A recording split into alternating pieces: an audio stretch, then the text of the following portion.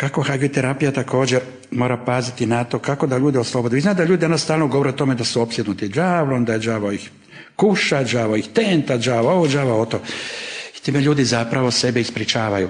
Đavo je kriv, đavo je kriv, đavo je kriv. Pa onda neće ni psihijatru, neće ni liječniku, to je đavo, to je đavo. I onda brže egzorcisi, daj brže stjeruj zle duhove. Mi smo danas imali na fakultetu na seminaru mome jedan prekrasan referat jednog divnog crnog čovjeka iz Afrike, jednog studenta, koji je govorio kako u Africi zapravo, tako reći, izgone te zle sile i kako vračari utjeraju to u ljude, a kako onda drugi vračari izgone ili kako neki liječnici to znaju čak izgoniti i kako i crkva to može.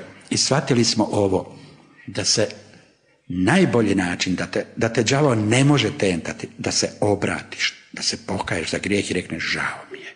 Isus se želi biti s tobom. Nikakav đavo u tebi ne može biti.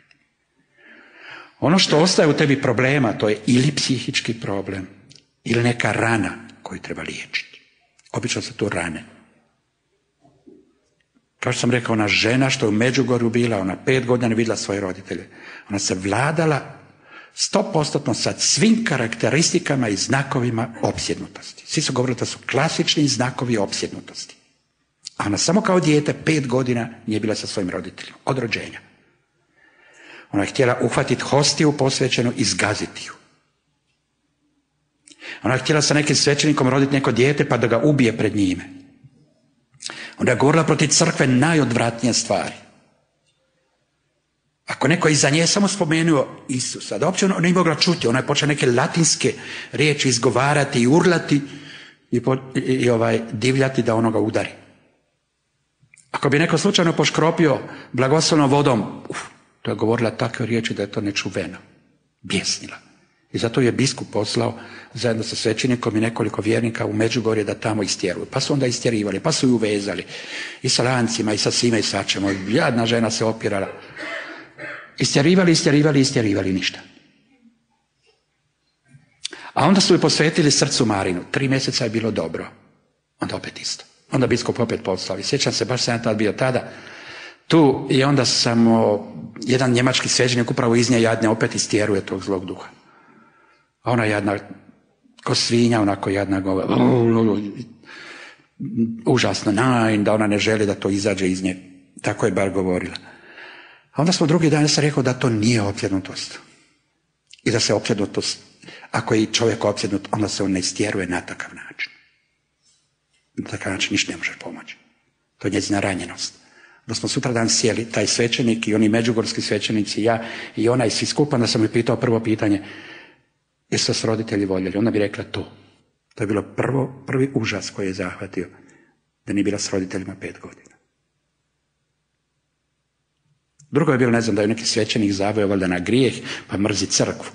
A treće je bilo da je išla na elektrošok i da je tada rekla Sotonu, ako postojiš, dođi u mene i daj mi snagu da ne moram na elektrošokove ići u bolnicu i može biti tu. I kaže, ja sam osjećala snagu u sebi. Svi su istjerivali, ništa se to nije moglo postići, jer to nije način kako se istjeruje za duh. Isus nikad nije istjerivao zle duhove. Nego je samo zapovjedio, izlazi, svako je morao izići. Ako ja zapovedim zlom duhu, on mora izaći. Ako mu ti zapovediš marš, on mora ići. On te mora slušati, pazite, kršćanin je čovjek koga zli duhovi moraju slušati. To morate biti svjesni.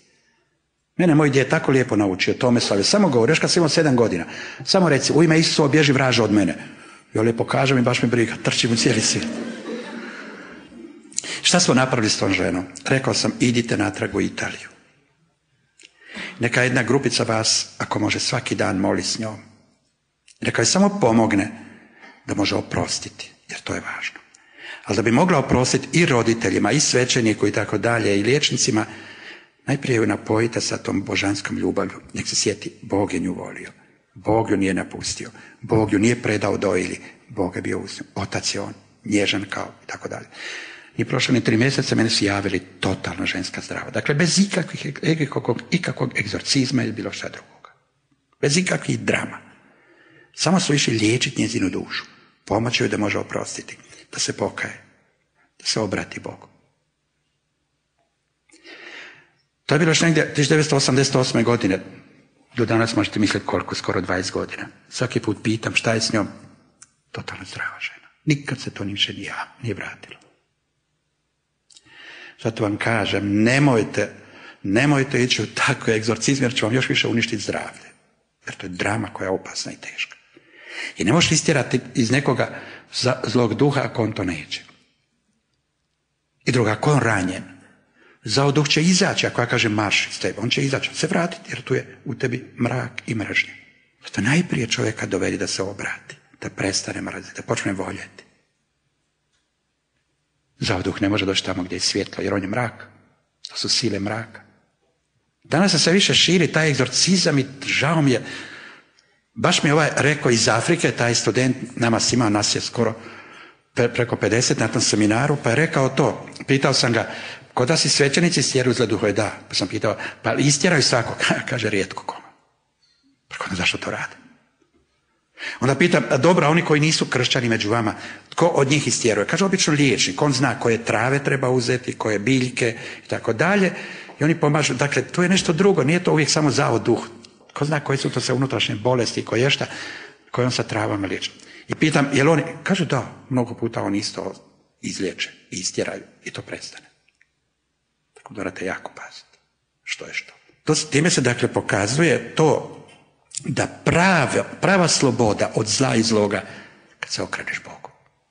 Čim ti ne želiš biti zao, čim se ti pokaješ, čim ti želiš drugog razumjeti, čim primaš Božu ljubav neka u tebe siđe, zao duh ne može biti jer ti si svjetlo.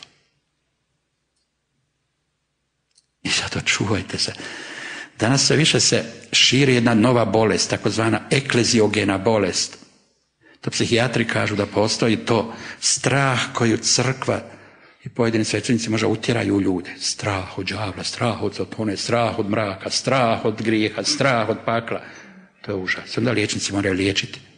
A Isus se došao osloboditi. Isus nije nikad utjerivao strah neko. Ne boj se, sinko. Slobodan si. Oprošteni su ti grijesi. Idi u miru. Izlazi iz duše. To ovaj mora bježati kako. Pa ne može, ako ja rekne mački, ovaj, šic, ne može ne otići. Ako reknem psu marš, dovidimo će stati. I ako ja kao svećenik, ili ti kao kršteni vjernik kažeš, u ime Isusa odlaz, mora otići prijatelji, dragi, to totalno jasno.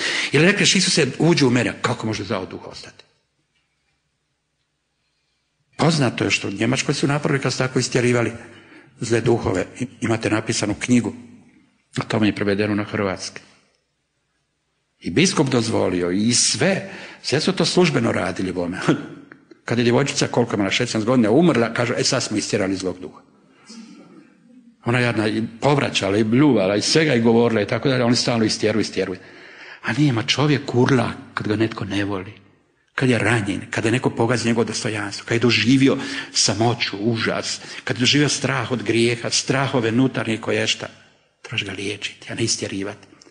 Istjeruješ zloga duha, duha, zloga duha i nema unutra, nego njezine bolesti. Ona vidi tek onda da udaraš po njoj i kažeš, a ti si, ti si takva, ti si još opsednuta, ti ovo, ti ovo. Jedna djevojka morala umrijeti od užasa. Mislim da ju izbavljaš, ti si još više pravio, vidiš. A onda su vidjeli, vidiš, ne može se istirati, vidiš da je sve gore i gore. A nije malo šta istirati jer ona bila bolesna. Jako biti razum, jer danas, danas se to prenaglo širi. Svi bismo mi htjeli biti zdravi. Idem ja na egzorcizam pa ću biti zdrav. Ma nećeš, bit ćeš još gore. Idem na egzorcizam pa ću biti dobar. Ma ko je to dobar postao tim? Đavo izađe, sutra dan opet se vrati. Sa sedam još gori, kaže Isus. Prema tome, kad nađe da tvoj stan nije ispunjen Isusom i duhom Božim, uđe u tebe i onda tek muči. Egzorcizmi ničemu ne pomažu, nego Isusu reci, Isuse dođi. Đavo mora bježati da vidiš glavu bez obzira. On hvata sve svoje i kaže, bježmo, ono dolazi onaj opasan svjetlo svijeta.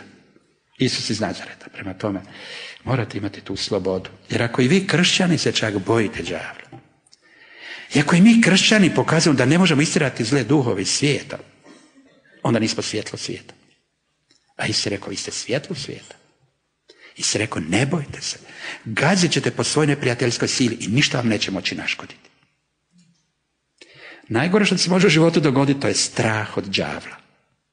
Strah od đavla. Da time đavla štuješ. Time on postaje haj, haj. Najvažniji, kaže, viš, svi me se boje. Gledaj, cijelu crkvu sam ukrotio. Svi imaju strah od mene. Ne to. On mora imati strah od tebe. Jer ti Isus dao tu moć. Tako da je đava postao zapravo jako jak među nama. Nemojte se čudi da mu Hrvatskoj ide loše. Stalo đava, đava. Satona, satona. Isus je došao liječiti slomljena srca, a slomljeno srce ono koje ne može vjerovati Bogu, da te voli. Isus je došao da nas izvuče iz tamnice. On nas oslobađa. Da otvori vrata tamnice. Da one koji su bili slomljeni, da oni koji su bili zatvoreni, da oni koji su bili sužnjevi i tako dalje, da ih oslobodi. Zato je došao. Prema tome, nemojte dozvoljavati da đavao bude stalno vašim ustima umjesto Isusa. Isus je sloboda. Isus je sloboda. Isus je zdravlje, Isus je snaga, Isus je vječnost, Isus je život. Zabranjuje vam od danas pa sve do tri kralja na godinu da niko vas ne smije izgovoriti ime đavao. Ni vrag, ni sotona. Može? A ja tek nekoliko vas. Džabe ja pričam. Odlučite se da ne, da ćete uvijek Isusovo ime. U ime Isusovo. Isus nek te čuva. Pogotovo ne ono vrag te odnio. Reci, Isus te donio, a ne? Mijenjajte svoj govor, jer Isus je rekao jasno ono, tvoje ćete riječi osuditi, tvoje ćete riječi opravdati. Prema tome govori ono što te opravdava, govori dobro. Isus je moj gospodin, Isus je moja sloboda, Isus je moja hrana, Isus je moj put, Isus je meni sve. I točka. Kada izađete van pa uđete u, mrak, nemojte joj, Isuse, tu si, ok, ajmo. Sjedite u tramvaj, pa tamo neki pijanac, joj, ako me napadne. Isuse, si tu, ok, ajmo. Naučite se živjeti kao ljudi, a to znači na duhovnoj razini, a tu je cijela bit. Jer uvijek ćete biti u strahu kad padate na razinu životinja, samo na psihofizičku razinu. Morate biti cjeloviti. Cijelu psihofizičku razinu uvijek oslobađati svojom osobnošću i svojim odnosom prema svemogućem Bogu. Ta će biti dobro.